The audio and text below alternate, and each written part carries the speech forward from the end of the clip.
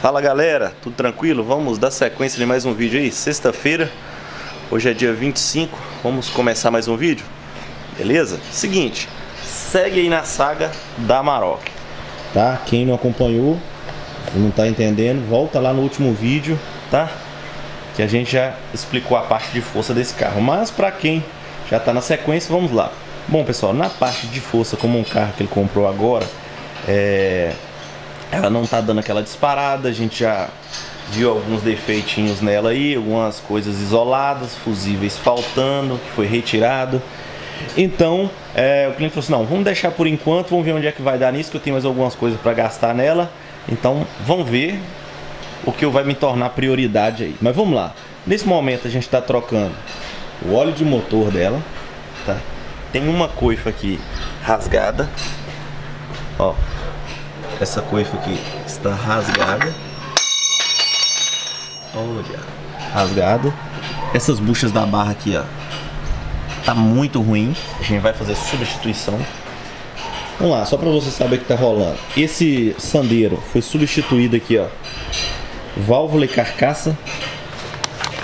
Ela rachou, fez um trilhozinho aqui, ó, e tava vazando. Então foi substituída.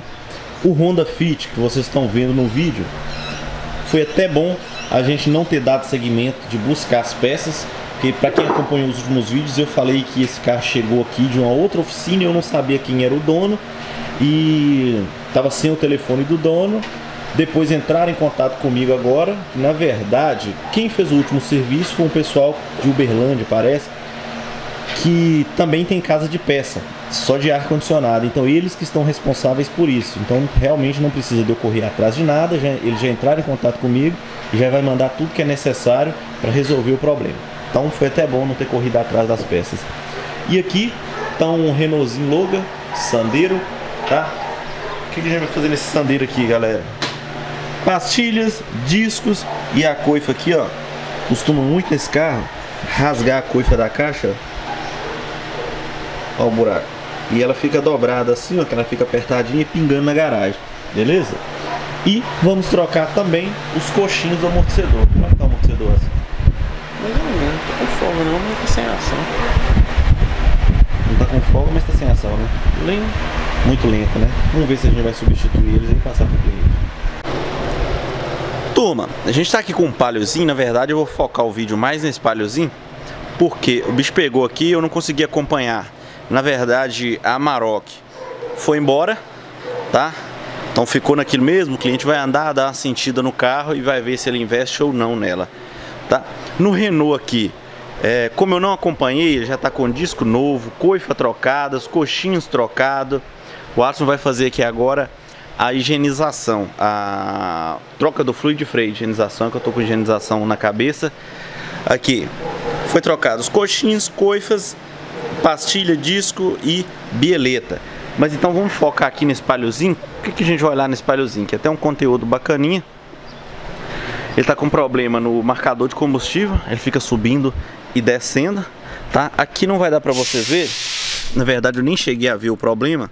Porque o cliente só me explicou que tem horas que o ponteiro fica marcando errado. Então a gente vai usar o nosso simulador de resistências, que a gente faz um teste que testa o chicote e o painel. Então você pode condenar com certeza o marcador de combustível ali, o sensor. E outro defeitinho que ele dá, vocês vão saber qual que é esse tipo de defeito, é aqui ó. Não funciona um, não funciona dois, não funciona três e o quatro funciona, tá vendo? Olha aí. Três não funciona, dois nada, só o quatro. Daqui a pouquinho eu já mostro pra vocês, beleza? Turma, então no palhozinho, vamos lá. Ô pessoal, me dá o retorno aí do áudio se o áudio tá ficando bom. É porque teve até um parceiro que quero agradecer que, na verdade, dois, o Alex, né, que é até cliente aqui, chegado ao nosso, que questionou do áudio, que tava ficando um pouco baixo. E nesse último vídeo, sem ser esse, né, no vídeo que entrou aí a Maroc, teve um outro parceiro que acompanha o canal que também deu a dica que o áudio não está ficando legal. tá? É porque eu tava usando um outro microfone aqui, que ele tava ficando virado para frente. Como eu fico atrás da câmera, então eu virei ele para trás agora, porque ele é para gravar, ele é direcional, então eu voltei ele para trás, vocês me dão um retorno se o áudio vai ficar beleza agora, tá bom? Pessoal, então vamos lá. Na parte da ventilação aqui, por que, que não funciona um, o 2 e o 3 e só o 4? Porque já é direto. O problema aqui, ó, é essa peça aqui, ó. É essa pecinha aqui, ó. Eu vou mostrar pra você. Tá vendo que tá toda preta lá dentro? Queimada? Ó. Só que o chicote também derrete. Nós vamos colocar, essa é a resistência, tá? Que controla as velocidades do ventilador interno do carro aqui, da parte de ventilação aqui, tá? Beleza? Essa peça aqui, ela vai bem abaixo aqui, ó, dentro da caixa de ar. Aqui, ó. Dentro da caixa evaporadora. Ela vai bem embaixo aqui, perto do pedal de acelerador, tá? A gente vai colocar essa daqui, é a resistência nova. E essa daqui, ó, se vocês verem lá, ó. Como é que tá preta lá, ó. Deixa eu ver se dá pra focar aí. Ó, derreteu dois terminal lá, ó. Tá mesmo preto. Então a gente vai trocar. E o que, que a gente vai fazer? Como derreter um fio lá, o que, que eu vou fazer? Eu vou puxar um outro terminal, porque o fio derreteu todo na parte do chicote. Vê se dá para mostrar para vocês aqui. Aqui, ó. Não sei se vou conseguir mostrar para vocês. Olha o boate aí. Mas aqui, ó. Deixa eu ver se eu consigo aproximar. Então nós vamos trocar uma parte desse chicote aqui, ó, que tem um fio que derreteu todo, tá? Não deu para mostrar não, turma. Mas tem um fio aqui, ó. Ó. Tá vendo? Então a gente vai trocar esse fio, pegar esse chicote aqui e passa ele por fora. Beleza? Então, aguenta a mão aí. E o que que a gente vai fazer agora? Aí eu mostro pra vocês que vai funcionar direitinho. Nós vamos erguer o banco aqui tá? E nós vamos fazer o, o teste agora com nosso simulador de resistência, fazer o teste de painel para conferir se é painel, chicote ou sensor de nível. Turma, então vamos lá. Como é que a gente testa sem precisar de arrancar boia, é, ficar arrancando, subindo, descendo para poder ver? Tem um aparelhinho, ó. É esse aqui, ó. Década resistível. Ela simula a resistência de trabalho de muitos sensores arrefecimento, N coisa. Mas agora a gente vai fazer a resistência de trabalho do marcador de combustível. Então, para evitar de ficar tirando e você não sabe se um problema é no chicote elétrico ou se o problema é no painel que está desaferido. Então, o que, que você faz? Aqui você vai arrancar a tomada né, um teste rápido, arrancou a tomada, tem quatro fios, os dois fios mais grossos de fora são de alimentação positiva e negativa da bomba, e os dois fios finos, o do meio, vai ser da parte de marcador de combustível, não importa qual lado você ligar, eu coloquei um pininho aqui, ó, um clips, e você colocar as duas garrinhas jacaré. E com qual resistência que trabalha, a ferramenta já manda para você, essa ferramenta minha aqui é velha, viu? Antes de eu ter oficina eu já tinha ela então vamos lá. É, cadê? Eu tava aqui na página. Cadê? Aqui, ó. Bom, os Fires, sistema Bosch. No caso é esse daqui, ó. Aqui ela marca tanque vazio de 350 a 370 de resistência. Vazio. 160 a 172, 162, tanque pela metade. E de 60 a 66, tanque cheio. Então, Vamos começar com o tanque cheio. Então vamos aplicar aqui, ó, 66 de resistência. Então vamos lá.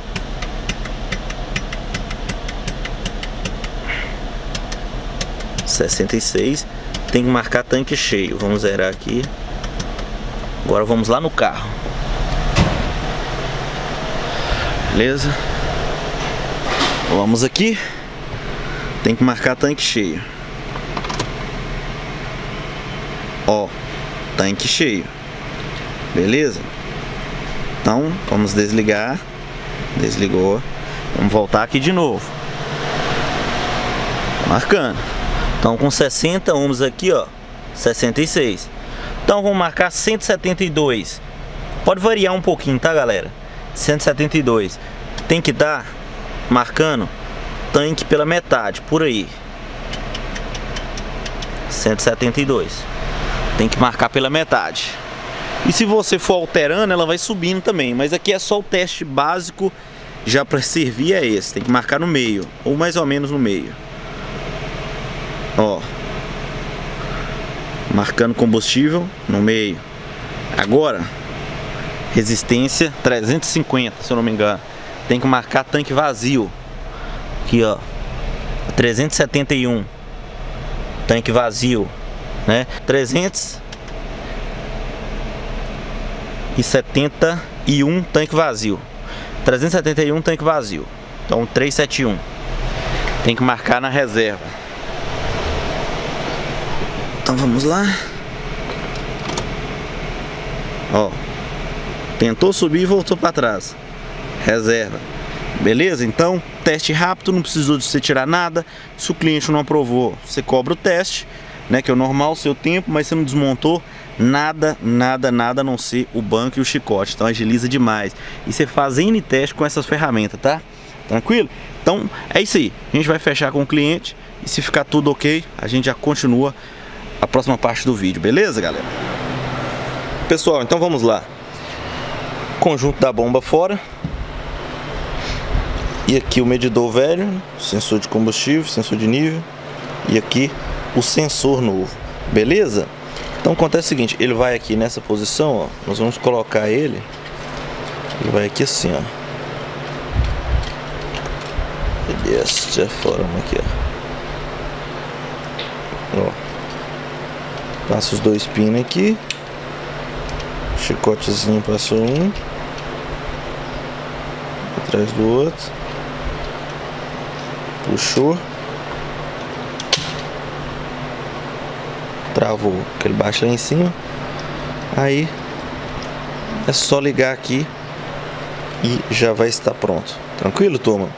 Pessoal, então é o seguinte, nós vamos montar lá, ver se ficou legal e a gente já volta na sequência até com o chicote aqui, ó. Eu coloquei um fio aqui só para simular para vocês mais ou menos como é que a gente vai fazer, ó.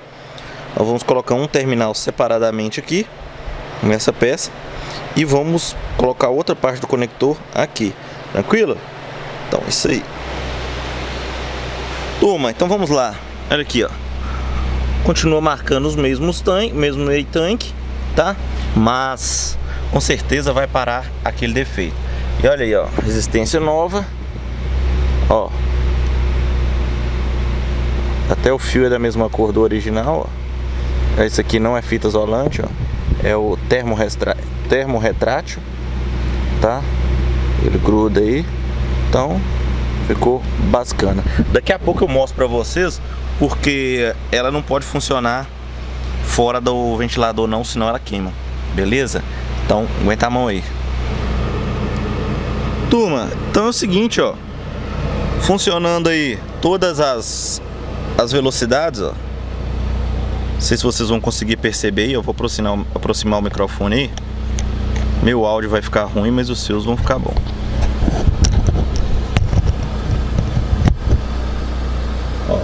Não está funcionando.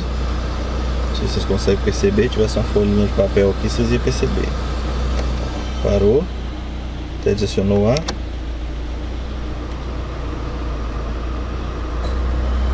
Dois. Três. Beleza?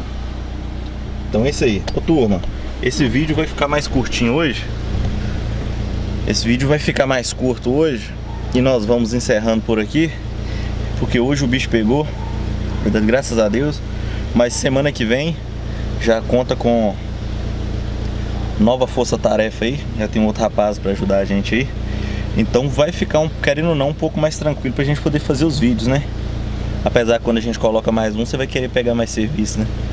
Então, é, semana que vem já vai ter mais um aí, mas eu vou tentar dar uma prioridade para os vídeos também. Então esse vídeo vai ser curto, mas eu espero que tenha matado a dúvida de muita gente. Não consegui nem dar continuidade no sandeiro, ficou pronto. Tá até aqui, ó.